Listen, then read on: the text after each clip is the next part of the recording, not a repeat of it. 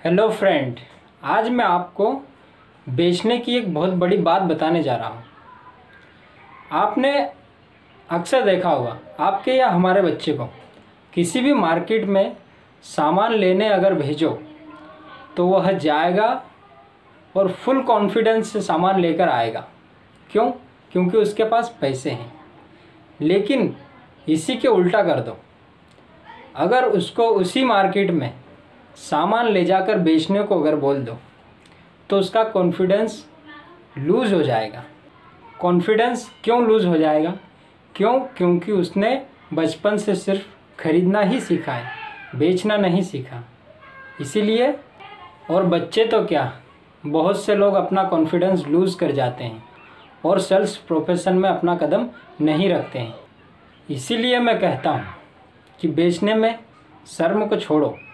और आगे बढ़ो। क्योंकि 20 परसेंट बेचने वाले राज करते हैं 80 परसेंट पर। उनको कोई शर्म नहीं। वो किसी भी चौराहे पर जाकर बैठ जाएँगे और कहीं पर भी बोल देंगे, दस के बीस, दस के बीस। उनको कोई शर्म नहीं। और तो और अपने देश की इकोनॉमी भी सेल्स पर ही टिकी हुई है। अगर आप सेल्स करोगे तो अपना देश आगे बढ़ेगा। और अगर आप ये मानते हो तो एक बार सेल्स प्रोफेशन व्यक्ति की इनकम पूछ लेना। दिमाग का ढक्कन खुल जाएगा।